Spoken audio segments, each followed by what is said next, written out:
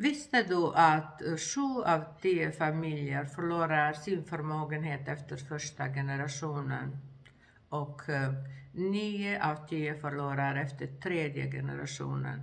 Så eh, det finns en familj i Devonshire i England som typ har sin förmögenhet eller behåller och utvecklar sedan 1300-talet.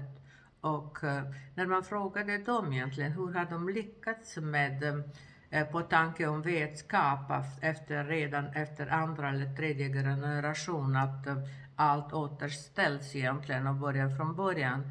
Då svarar de eh, visst har vi haft i familjen idioter men aldrig två i rad. Så det gäller i stort sett egentligen företag, familjeföretag som de flesta är egentligen från början.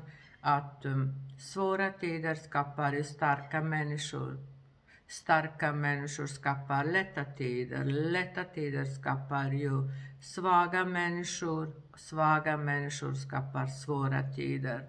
Så eh, ja, man får fundera egentligen i livet över allt egentligen. Hur, hur det är viktigt att vi skapar så stor förmögenhet som vi brinner idag för att lämna till våra barn. För det ser ut enligt statistik att många um, efter första generation de eh, upplever att de är bara födda och de ska alltid ha allt. Men när de spenderar pengar då skapar de egentligen eh, nya problem och det blir ju svåra tider som uppstår.